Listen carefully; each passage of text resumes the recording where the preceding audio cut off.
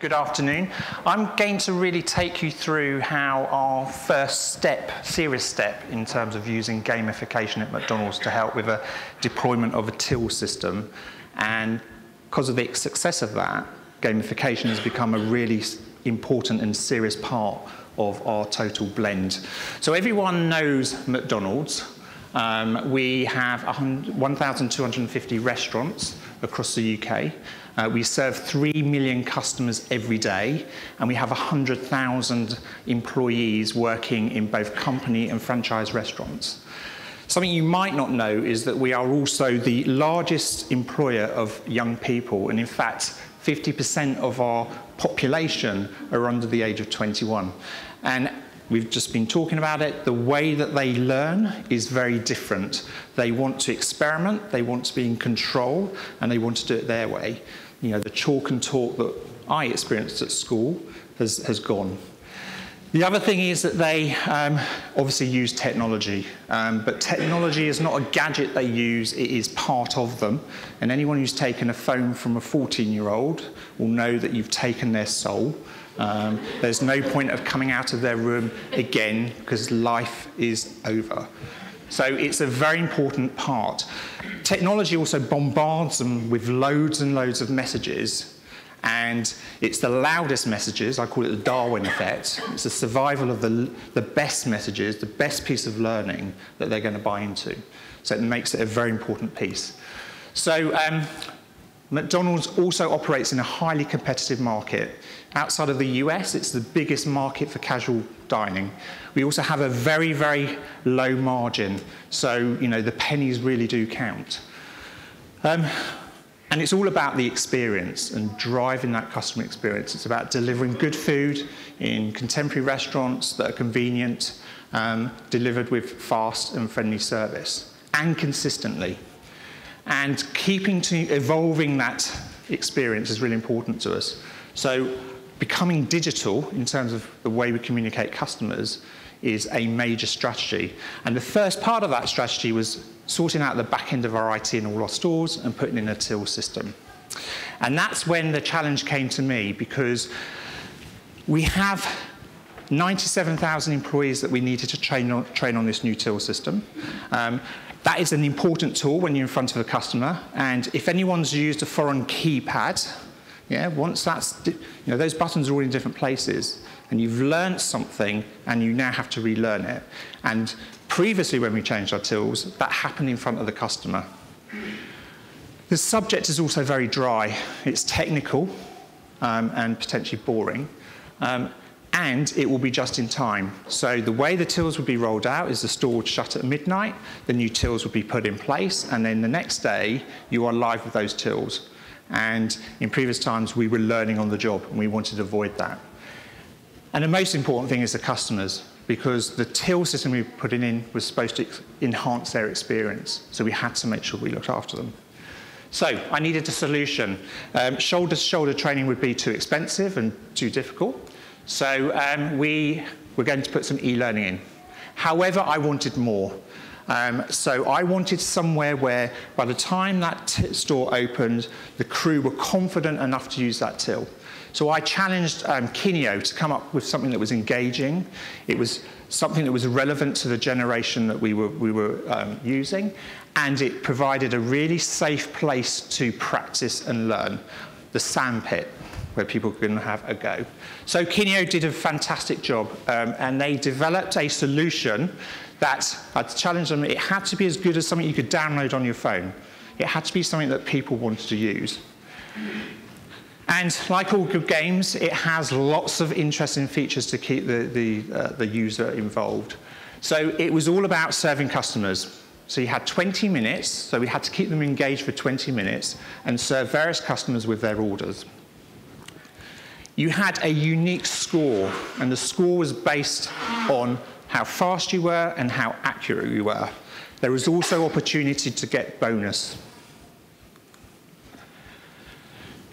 Customers that come into us are at different levels. So we have the people that come in and ask a big, for a Big Mac with large fries and a Coke, easy. We have other customers that come in who have five, six people with them, different orders, special orders, so it gets more complex. And just like with any game, you want levels. So it had four different levels, and as you went through the levels, it got more complex. We all like a cheat in life, don't we? We always like a little bit to help, so the game had things built in to help you get to the next level. It had show me's, stop the clock, and rewind. Yeah, so you had lifelines. Talked about the bonuses. Um, lots of bonuses to pick up extra scores. So it wasn't just about being fast on the till and accurate, it was also about the level of service that you deliver to the customer. Um, you had the beat the clock, and you also had the ability to um, get, get extra points for that great service. Um, you could also gauge how well you were doing. So the um, scoreboard, the satisfaction score showed you how satisfied the customer was. So if you were slow, it would go down to that red. Um, and you could also see from the customer's expression how well you were doing as well. So those were the visual clues that we were asking people to have a look at. And finally, it was all built in with lots of sound effects, booing, cheering, um, slurping, etc. So um, it was, it was a, a, a, great tool. So I'm going to try and see if we can get this. So we're going to go into it live. And um, I've got some of um, my colleagues from Kineo. In fact, Paul led this project for me when he used to work for me, and then he went the other side.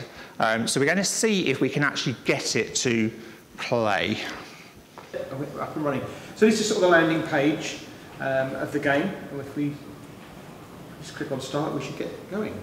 Okay, so you've got your queue of customers coming in at the top there. And you'll see the first one drop in. And if we listen to his order, we should hear what he's after. So the first customer's dropped in now. Rather than dumping straight into the till, what it's actually asking now is how we would greet the customers. So we've got some hospitality stuff in there as well. Mark will take you through how that work in a minute. There you go. Okay, we're ready to now take our first order. So the guy's going to... Morning. Let's see. Um, I think I have a bacon and egg bagel today. And can I also order an egg McMuffin? He looks a bit grumpy already, actually. It's because you're behind the till, Paul. if it was me, he'd be happy. Oh, I almost forgot. Um, can I also have two teas with that?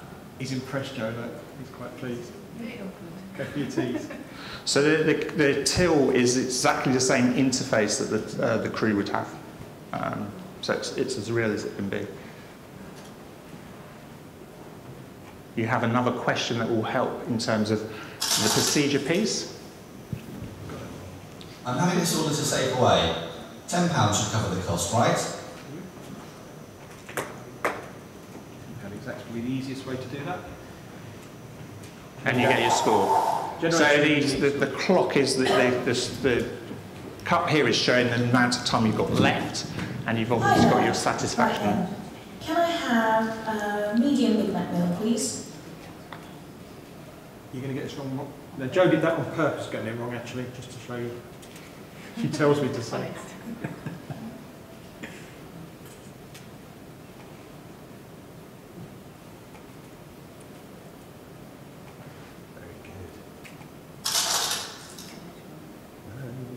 a drink. Thanks for reminding me. Uh, can I have a Coke, please? Not that Coke, actually. It was a full Coke. Here we go. Can I have that with side salad? The whole order's to take away as well. You up with that.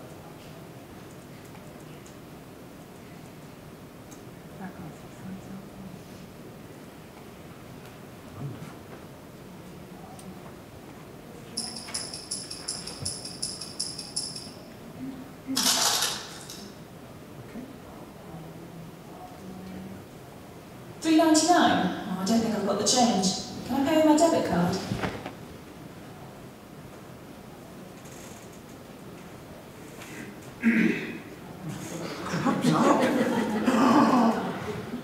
Dreadful. No stars for you. Perfect. Very good indeed. Okay. Yeah. Um, so totally immersive, um, and the, the most important thing of the the right, whole I'd like a large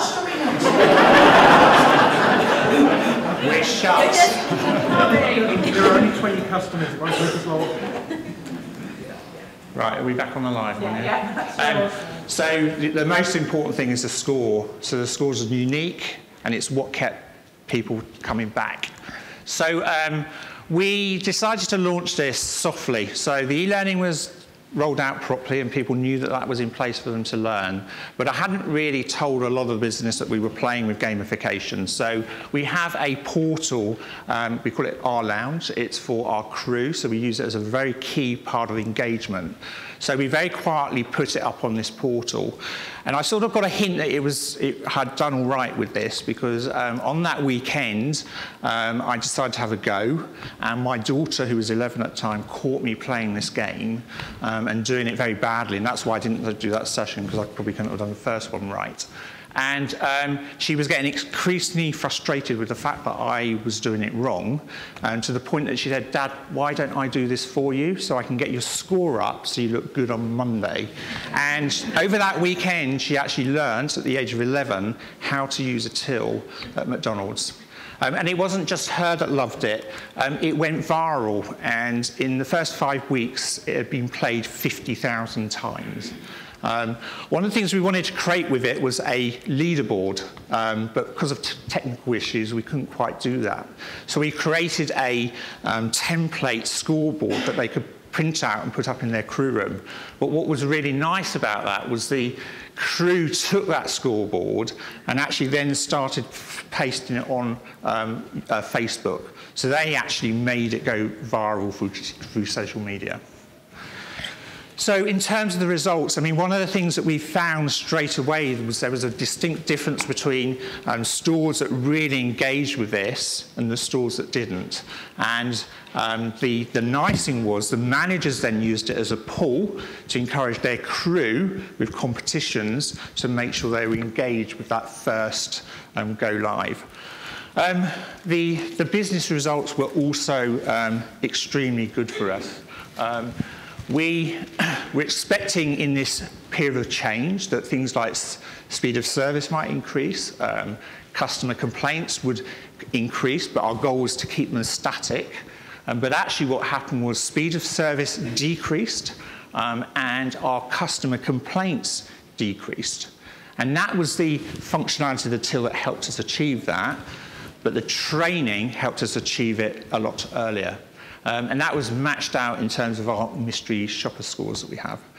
The other thing that we saw was in that first year, we increased our average check by 15 pence. Um, so it doesn't sound a lot, but when you um, consider the 3 million customers we serve every day, it actually contributed about 23 million pounds to our overall sales.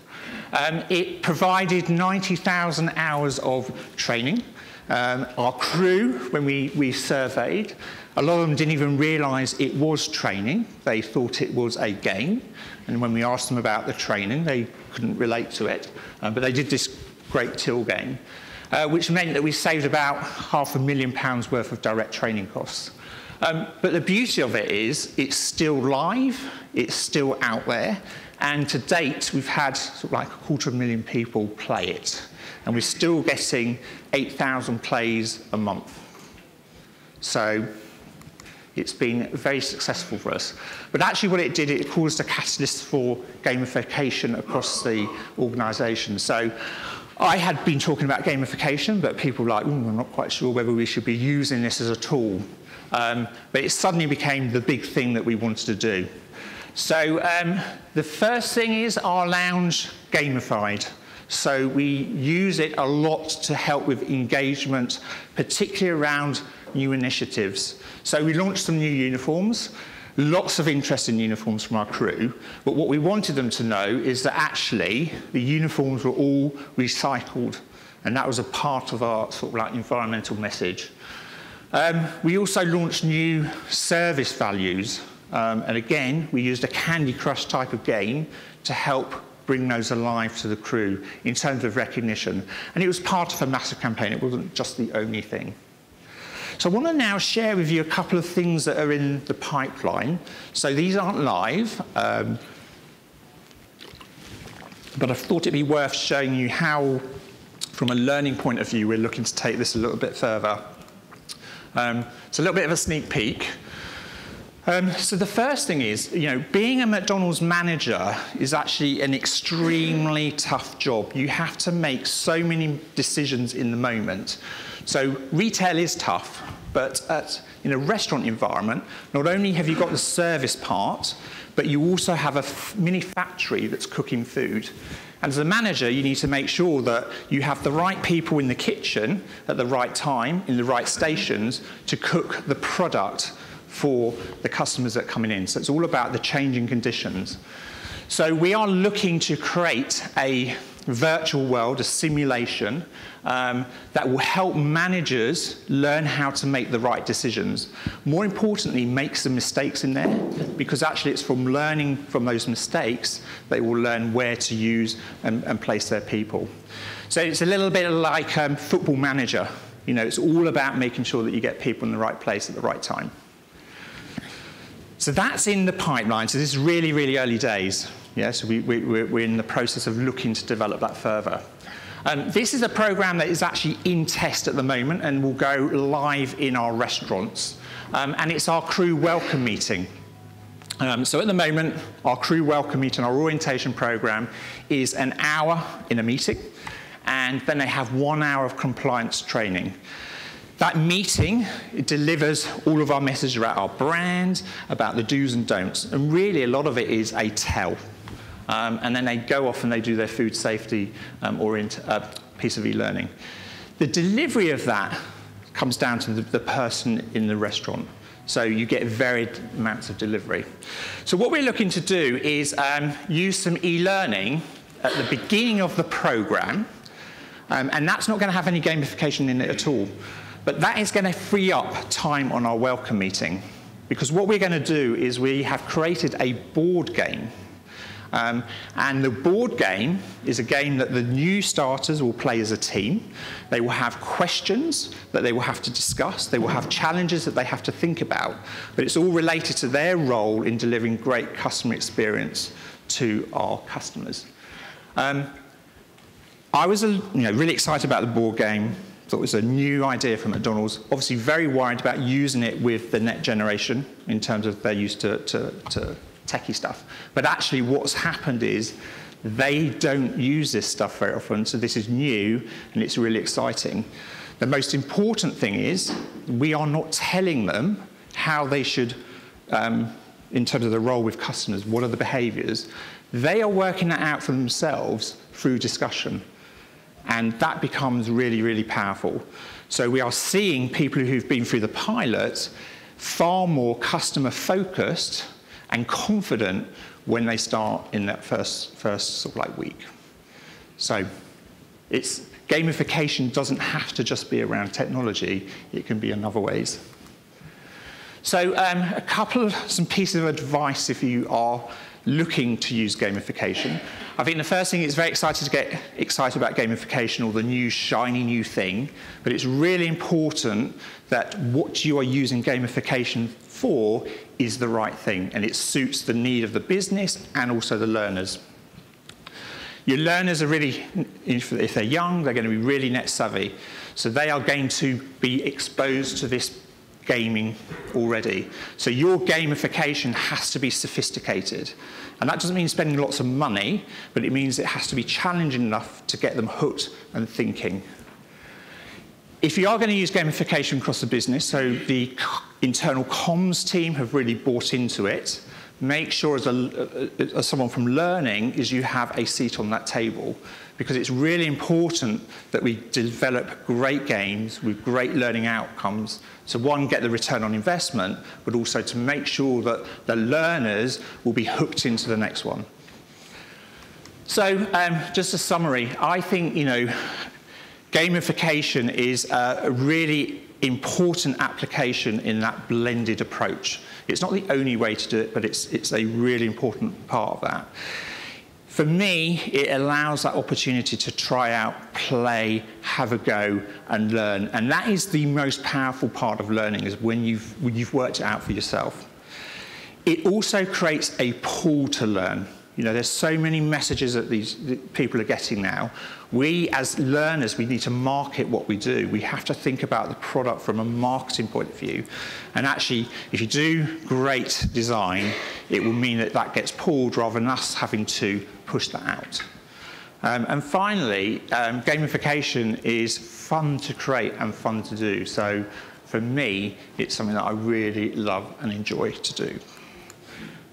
Um, so the best way to learn is, is have a go. So Kineo have very kindly um, going to host this game on their site. So you're welcome over the next couple of weeks to go in and have a play of yourself. So the details are up on there. Um, but, you know, have a go and, and enjoy.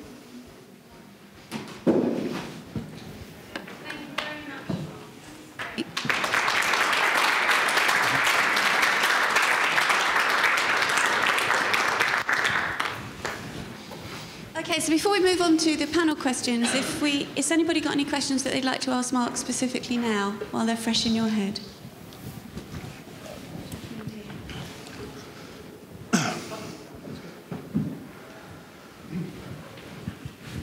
How long was it to develop the game from your specifications and requests? Um, it probably took about, it took three months. We had some slight delays with it because we were looking at this, this leaderboard, but it wasn't um, particularly long. It was about three months, wasn't it? Yeah, yeah. Well, one of the key things around it was that the till system was being developed Yeah. at the same time. So as with any systems training, you kind of can't put the solution in place until you've got a stable system. So we were restricted in terms of timeline for that, but it's still around about three months, which is quite going for 20 minutes of quite high-end learning. It was also quite interesting that I think quite a long way into development we looked at, um, we needed the hospitality pieces in there. So you know, the danger of the game was it was looking at making people very fast at doing the till. Whereas, you know, to Mark's point, it was about customer experience overall. So we, we, sort of re-engineered those bits back in. So it's all really good. Anybody else have questions? Just a very quick one, Mark, about, um, I presume the tills are touchscreen, Yes.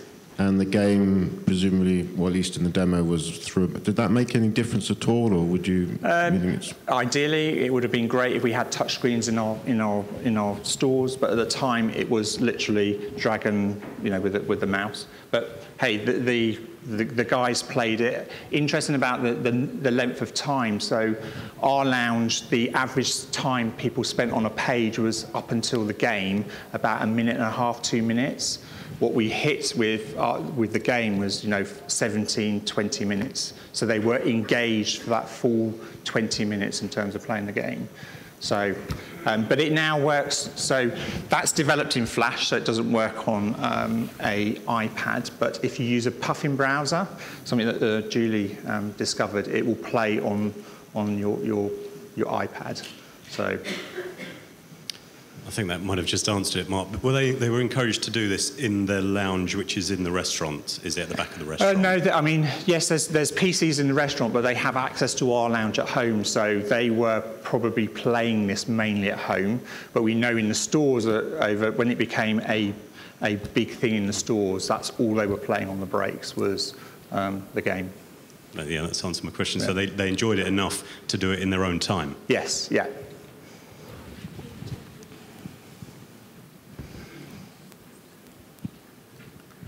Are you looking to uh, roll this out into your other countries as well, or are they doing something Um, similar? so some of the other countries have actually picked it up. Um, they need to do some development because they have different layouts, but yes, it's been uh, rolled out in some of the other other places. Thank you. Anybody else? Okay, well, let's open this up now to talking about games and learning in general. So, does anybody have a question that they'd like to put to Linda or to Mark?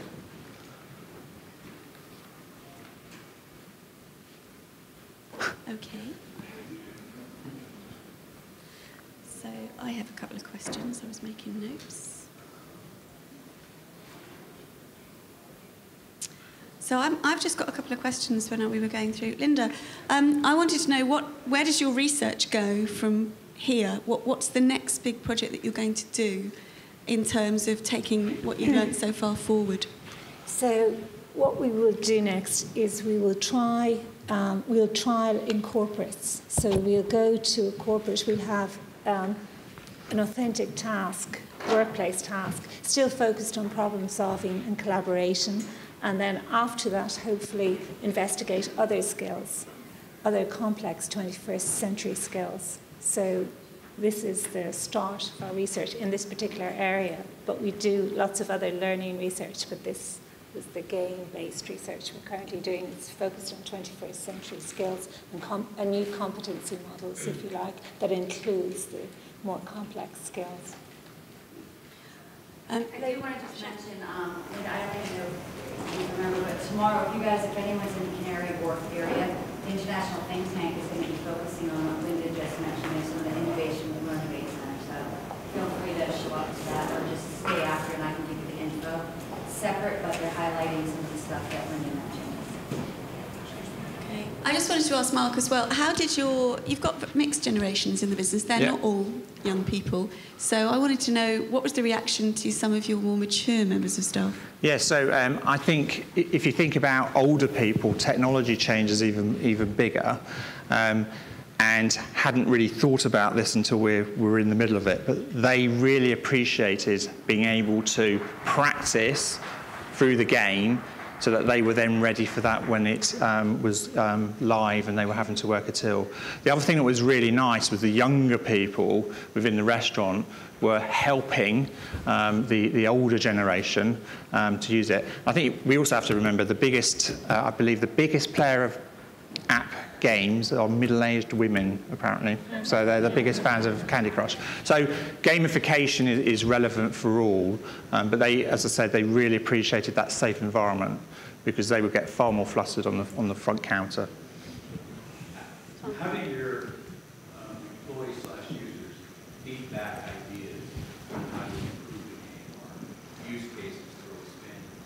Um, we, through our lounge, we use our lounge for crowdsourcing as well. So any sort of um, learning intervention we're looking at or, or want feedback on, we will ask uh, questions through that and we will poll. Um, on, on, the, on the site, they have the ability to, to rate the site and leave their comments. So, um, you know, some of them were leaving their frustrations because they couldn't get to level four and they couldn't work it out. Um, but yeah, we, we, we, we very much take their feedback and they're very much involved within the whole design process. So. Can you shout from there? Sorry? Uh, well, uh, you, that is actually coming. So um, uh, there's some restaurants out there that are our concept restaurants. So yes, we are going to be introducing um, self-service kiosks and ordering through apps. So that's all part of that digital strategy. So that's rolling out in the next few months. Um, it's really interesting. But how do we ensure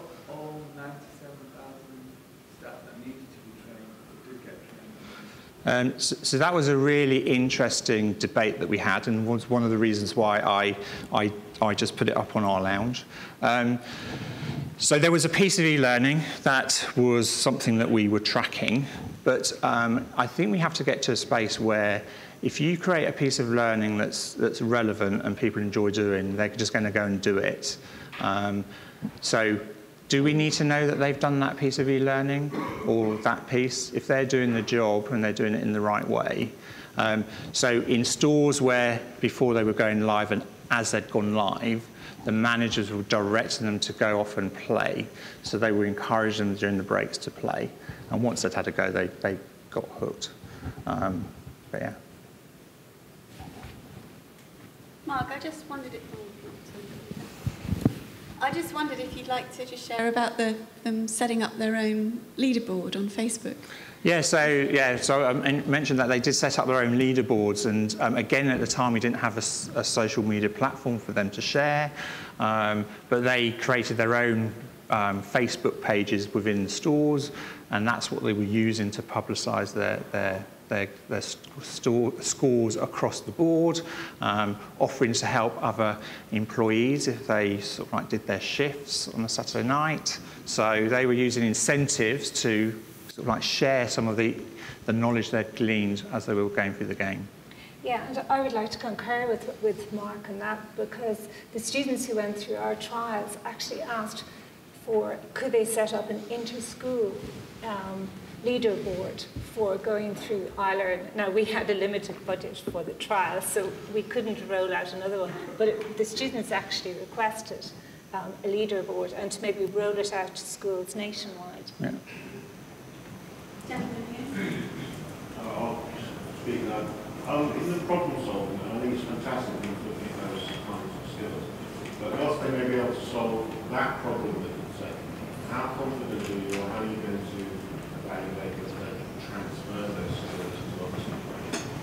Well, that's why when we were evaluating the problem-solving activity, we looked for generic steps, process steps that we, we applied to any problem in any context. Typically, we cycled through a number of steps. So we, we pulled back and we looked at the, the process steps for solving problems. So by inference, although it might be different, we were saying that this could be applied to other types of problems in other contexts and other domains. But again, um, we would need to verify that. You would need a second experiment to, to verify that. But that's why our metrics, if you like, were high-level process um, metrics. John? I would expect that the 16 and 17 year olds had no issue navigating immersive learning environment. They had absolutely none. And what, what was amazing for us was um, we had we thought it might crash and burn for one reason, that we, you know, being a research centre, um, our funding was limited for this trial. We were lucky to be able to do it, but we used OpenSim, and OpenSim can be very clunky at times and would not reflect the high fidelity games that they would be used to playing. So we had thought that they would not engage with, with the game whatsoever because of the clunky environment. But somehow the, the engagement from the game overrode that they didn't comment. They didn't say anything about how clunky it was, how slow it was in places. They just engaged it, and they navigated that world so easily.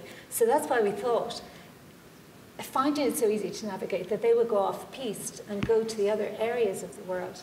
But they didn't, and it, it, it surprised us. You might have a different set of challenges with it. we, we had put in a lot of additional navigational hints. Really? To, yeah, so they don't get they don't get overly frustrated by that type of immersive learning environment. Interesting. That will be interesting to see. Um, just to see if we can replicate this, we'll have to go, not to introduce too many variables, we'll have to go with the existing one, but it would be interesting to see if that does get it.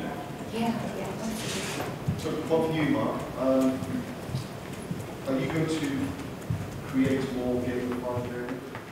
Yeah, no, so it's, it's definitely um, a big part of our strategy. So, um, you know, a lot of it comes down to um, resource and cost, but you can do it cheaply. I mean, the, the game that Kineo, um, they'll kill me for telling them, but it cost us 40,000. I'm not saying that you could get that for 40,000 now, so that wasn't particularly um, high cost and has provided um, a huge amount of value.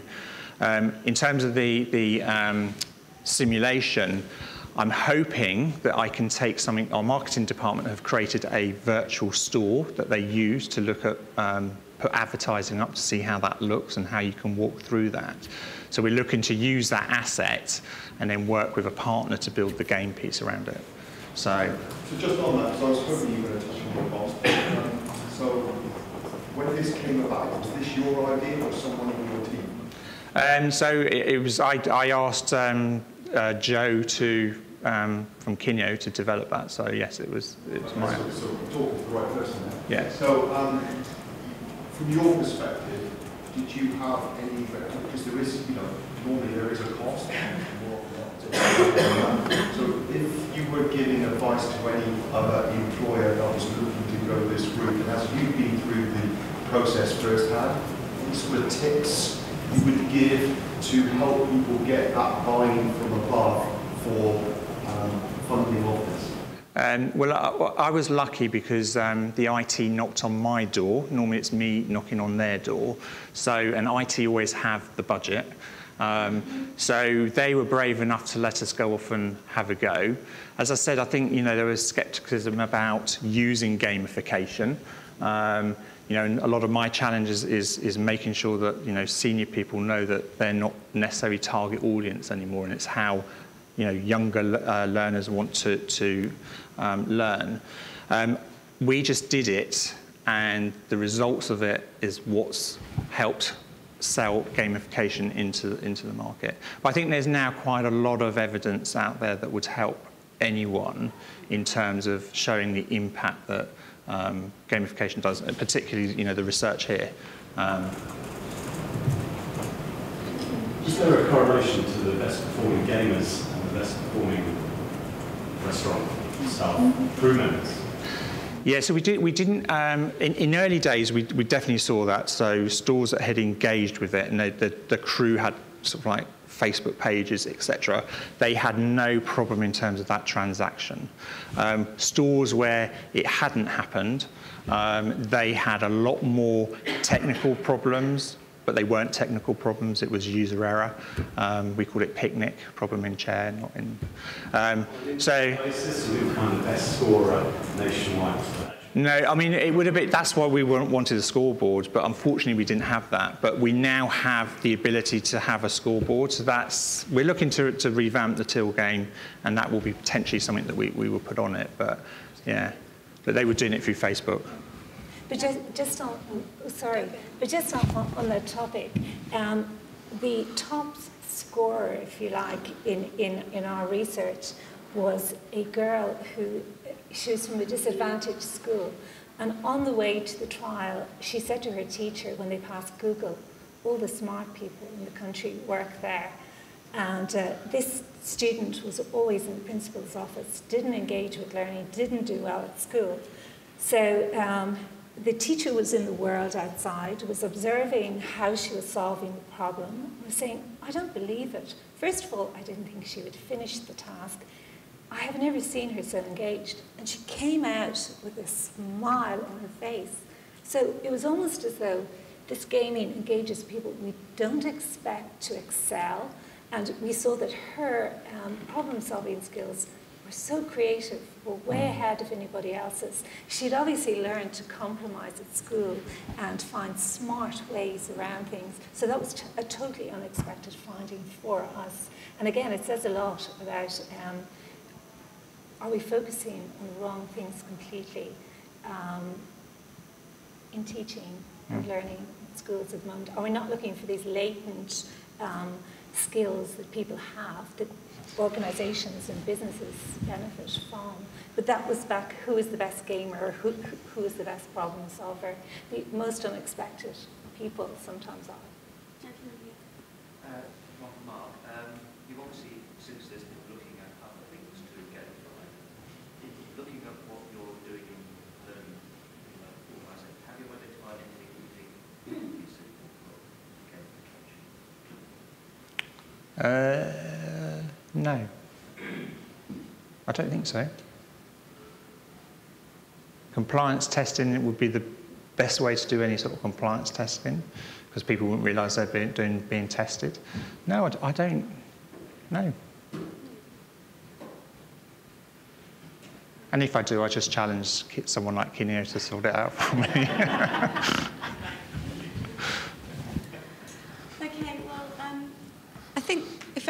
if there's no more questions, I think we'll wrap this session up. And I hope you'll show your appreciation for Mark and to Linda for their...